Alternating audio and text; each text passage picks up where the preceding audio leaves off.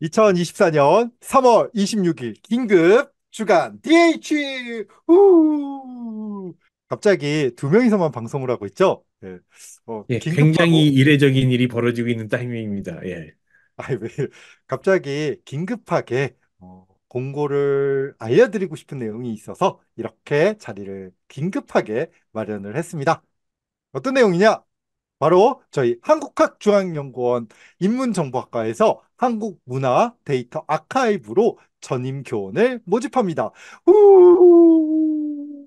접수 기한은 4월 1일부터 4월 15일까지고요.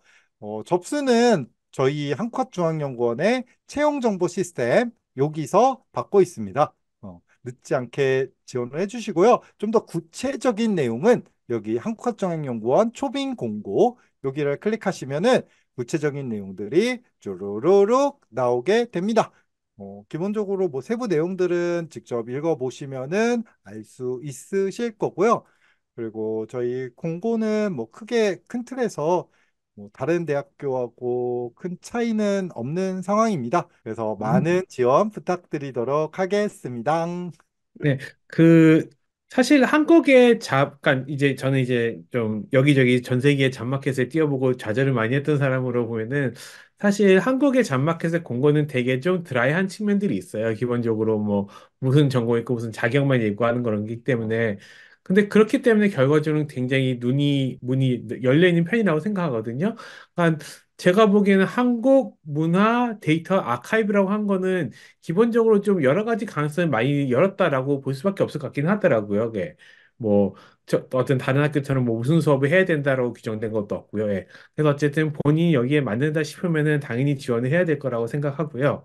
이렇게 자, 공고 날 때마다 저희가 지나가는 말처럼 꼭 했지만은 제발 제발 공고문에 잘 읽고 제출하라고 하는 것들 꼼꼼히 챙겨가지고 어, 꼭 제출하시기 바랍니다. 이게 왜 그러냐면은 그 많은 학교들이 그렇지만 일차적인 검토는 그냥 기계적으로 기계적인 말이 좋긴 하죠. 어쨌든 그 어, 심사자들이 아니라 약간 그 인사처에서 기본적으로 이렇게 yes, no, yes, no 계속 체크박스는 찍어가면서 가거든요. 근데 거기서 체크박스가 하나 안 됐다고 해서 그냥 자동으로 탈락하면 그건 너무나 억울해요. 네, 사실은.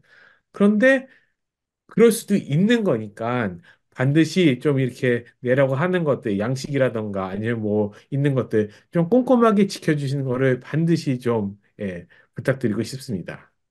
네.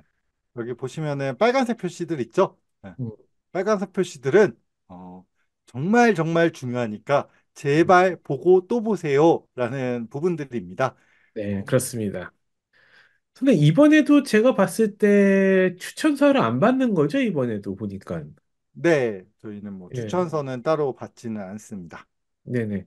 뭐, 예, 좋습니다, 그것도. 네. 그리고 파일명도 저렇게 쓰라고 했으면 그냥 쓰세요, 제발. 왜 그런지 이런 거 너무 고민하지 말고 쓰라면 제발, 제발 그냥 그렇게 써주세요. 괜히 사람들 피곤하게 하시지 말고요. 네.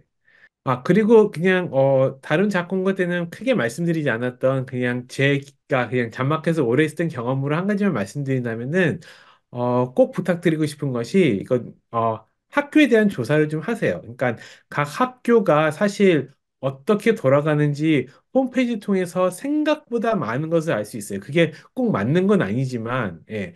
그, 공고된 거를 통해서 뭐를 연구 좀 자기가 학교를 좀 조사하고 준비를 하고 거기에 맞춰서 어떻게 하겠다라고 하는 것들을 보여주면은 심사자들도 그게 보이거든요. 아, 우리 과가 꼭 이렇게 되는 건 아니지만 그래도 우리가 홈페이지에 올라온 그 내용을 보고 준비를 했구나라는 게 항상 플러스가 된다고 생각하거든요. 그래서 이제 뭐 학교가 어떤 곳인지 뭐 어떤 교과목들이 있는지 학생 구성이 어떤 애 이게 찾으면 더 나오는 정보들이니까 그런 것들을 좀, 어, 꼼꼼하게 보고 여기서 자기가 어떻게 맞춰갈 수 있을까? 예. 다시 말씀드리면 그게 꼭 모르는 내에서 좀 제한된 정보 내에서라도 본인이 그거를 준비를 해왔다라는 것이 보이면은 저는 항상 그거는 지원자들한테 플러스가 된다고 생각을 합니다. 그리고 김아라 선생님 아무래도 당사자라 조금 하실 수 있는 말씀이 제한돼 있죠. 예. 사실 뭐 저도 한중현에 남아 있었으면 이런 얘기 못했을 텐데 그냥 떠난 사람 입장에서 그리고 그냥 채널에 충성하는 마음으로 몇 가지 정도 얘기를 할 수 있었습니다. 예. 어, 네, 네. 제 입장에서는 어, 많은 지원 부탁드리겠습니다. 음. 요 말밖에 드릴 말씀이 없네요. 그러면은 뭐 사실 너무나 중요하지만 또 할 수 있는 말이 너무나 제한된 그러나 또 그만큼 중요하기 때문에 저희가 긴급으로 마련한 이 긴급 녹화 여기서 바로 정리하면 될까요, 선생님? 네. 네, 알겠습니다. 감사합니다. 네, 감사합니다.